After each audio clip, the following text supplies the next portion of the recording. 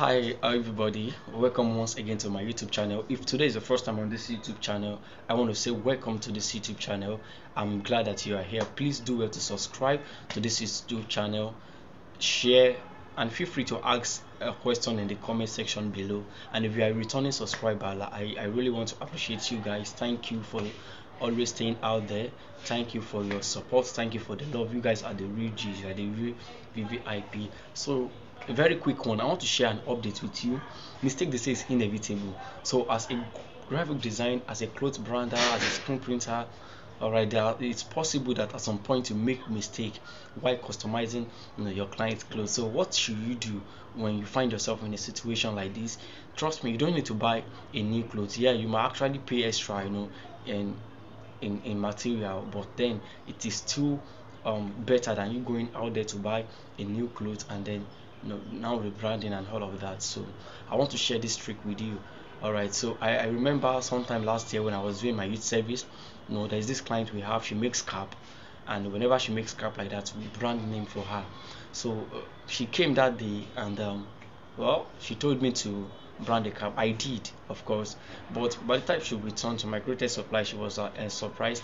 She was like no this is not what i want this name is small it's not visible. I want it very big round about the cap. And trust me what we've been doing for her previously was okay the name would just be one side of the cap. But this time around and she was like ah no no no no no she can't take this from me. It's either i pay for the cap so i should make another one and then i will brand it for free. Imagine i, I was like ah wait oh sha i i just told my boss about it and then he shared a trick with me yes and i feel i should also share with you because it might actually help someone. So what is this trick? What do you need to do this? How can you rebrand your clothes from an old one to a new one? What are the things you need? So i will be sharing with you in this video so stay tuned. So in today's video i will be rebranding this guy right here. As you can see this is um branded with um dtf so I, will be changing this logo on it to another one.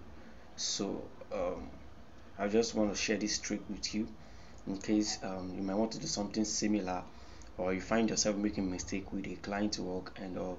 So instead of buying a new material entirely you know for the clothes all right so you can actually just try this and um, see how it goes. So stay tuned. I will be rebranding this and I'll be changing the logo on it to another. But first off I have to remove this one on it. So watch how I do that. Alright. So you need a foam and you need um retarder. For those of you in screen printing actually you know what um retarder is? So I will be dipping my foam in my retarder like this and um, I will be applying it on the surface you know of of the logo. So allow it soak for a while and um, okay.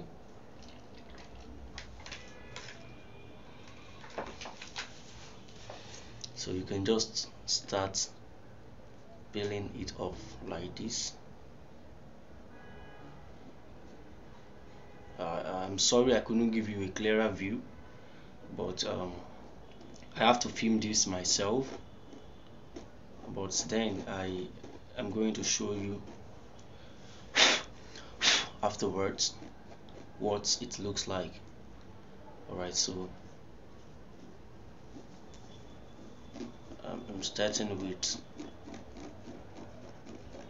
yeah it's gonna take a little while. Yes of course it's going to take a little while but it is achievable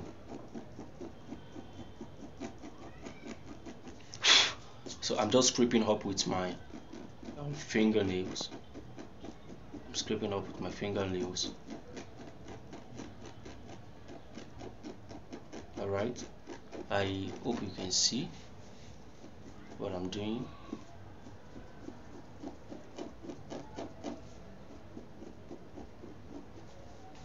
Sorry I cannot give you a clearer view right? Because I have to film this myself. And um, it's nobody to assist me right here. But I will show to you what the end result is like.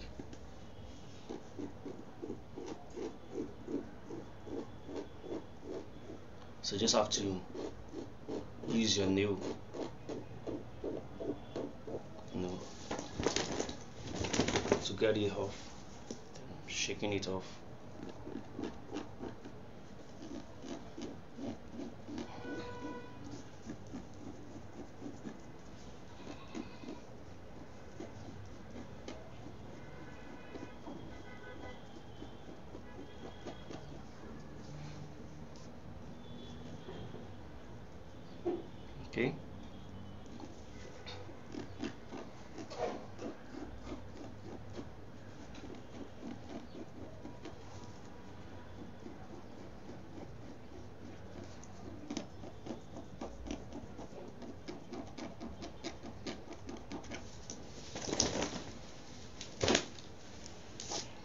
so uh, don't mind me i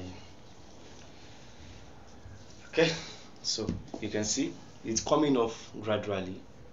It's coming off gradually so but then we still have a long way to go.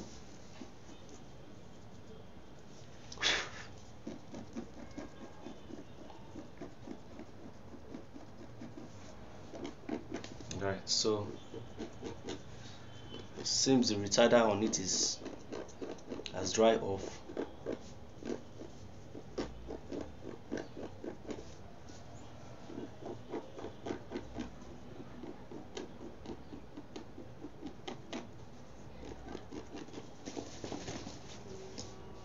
Has dry off so I have to apply more on the other surface. Okay so what the retarder does is that um, it weakens um, the uh, how will I put it now?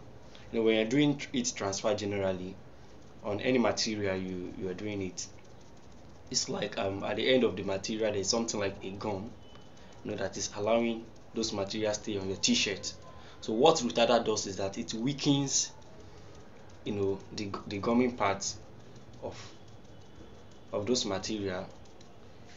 You can try with flock with flex and even DTF just like I'm doing. So when it weakens them it will be able yeah, it will be easier for you to peel out. So just stay tuned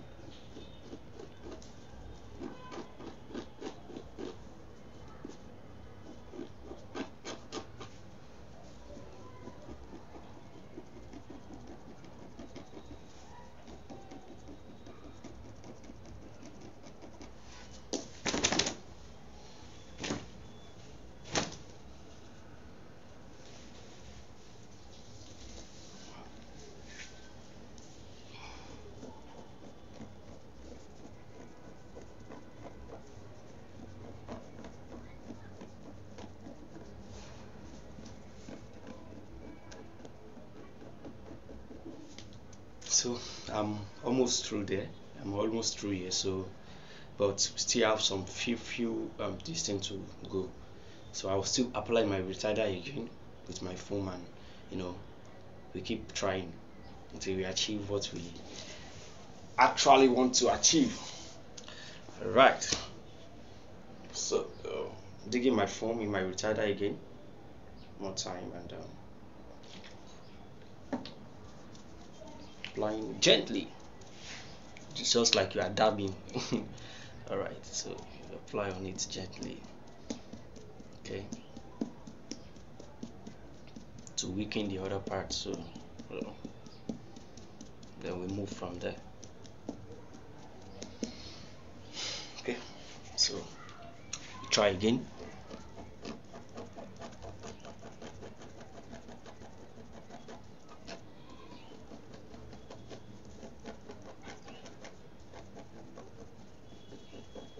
so like i said earlier um this method works for um flex like if you if you brand your clothes with flex or with flock sheet or with dtf all right I, I i don't think it will work for dtm for screen printing anyways because when you're screen printing especially with placeto yeah, yeah even any ink i don't think it will work for um screen printing. I've not tried it anyways but I've tried with flock, I've tried with um this DTF I'm doing and I'm also um, with flex so and it works.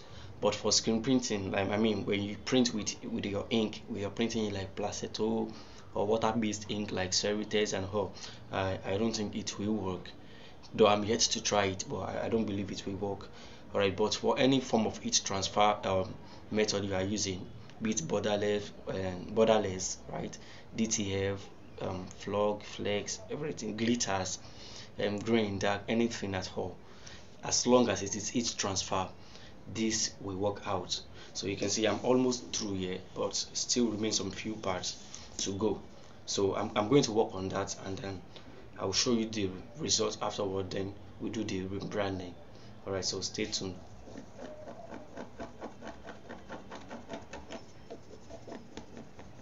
it's a bit stressful yeah but then uh, it's it's worth doing right?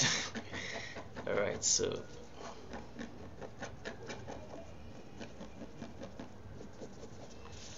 Um, on it we actually dry off and um, before we rebrand it. So this is our outcome. No, the previous logo is gone and then we are rebranding. So I'm going to sun dry this right now to allow it dry before I rebrand guys um, this is it. I've allowed it dry off and um, I, you can still see the traces of the previous logo on it. Okay so uh, but then we, we move. It's just you know, it's just a, a practical training like so we'll be running this right now. Stay tuned. So guys we are ready for rebranding right now. So um I'll I'm still using DTF to brand it again. So this is my D and this is my DTF sheet. All right uh, this is my DTF sheet. Uh, all right so this is the new logo that will be on it. So and um, trimming this off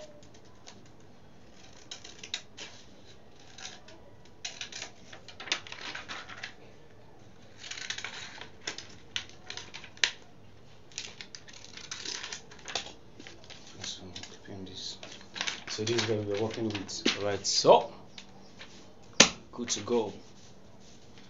Um, like this. Like I said earlier I have to film myself so but I, I believe you guys can still see me. Okay so that's my DTF sheet and of course I'm using my Teflon my Teflon sheet so I'm placing it on it like this. And don't forget you know, I, I always say when you're working with DTF please don't allow your um, your presser or your iron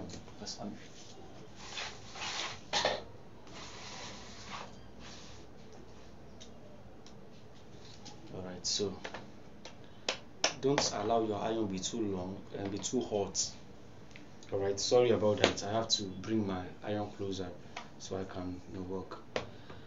Right so don't allow your iron to be to be too hot and don't let it stay too much on your material. So i've i've placed my logo on the t-shirt right?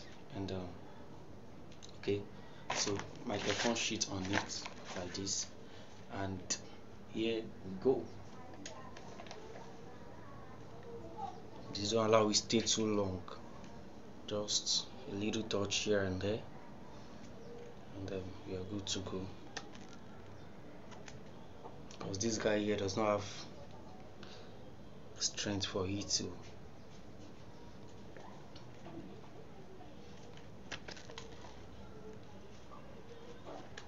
okay I want to go again. I'm, I'm, I'm trying to be more careful so I don't damage apron and um, the, the work alright so.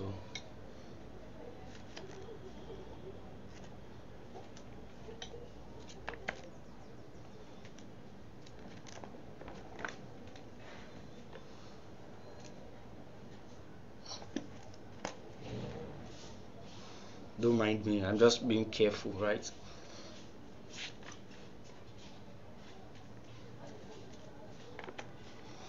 alright so I think we are good like this. And um, okay trying to see? Alright so alright it's not staying yet. So I oh god still have some fuel okay. It's not staying yet. So I think I have to go again. Alright you don't have to rush about it. Just be calm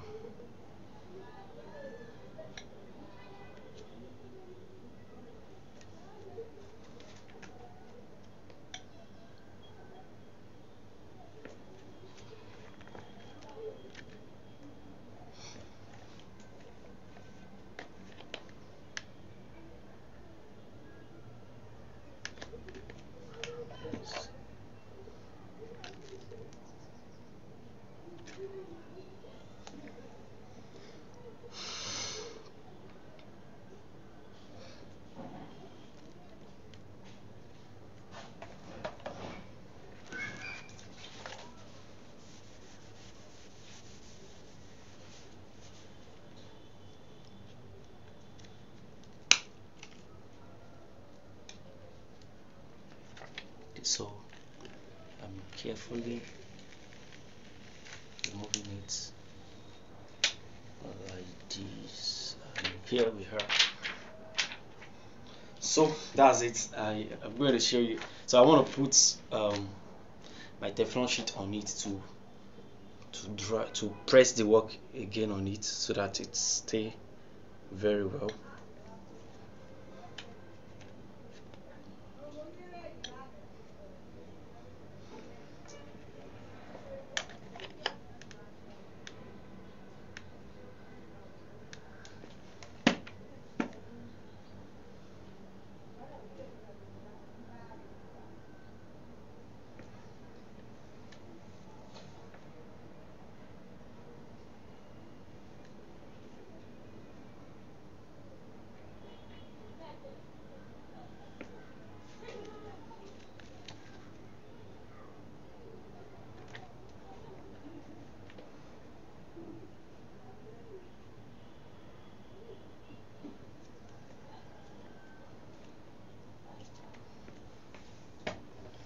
right so that is it all right? That is it. So um make sure everything is well glued so that is it guys. So this is our new apron. Okay so this is the end product of it. Yeah this looks really nice and good. All right oh, let me tell me how you feel in the comment section. But this is actually very nice. Uh, I like it and um, you see right go so stay tuned to this channel. Kindly subscribe subscribe to my youtube channel. Share with your friends share with your loved ones and stay tuned. I have a lot to teach you guys trust me and you don't want to miss out. Thank you for your time. God bless you. See you in the next video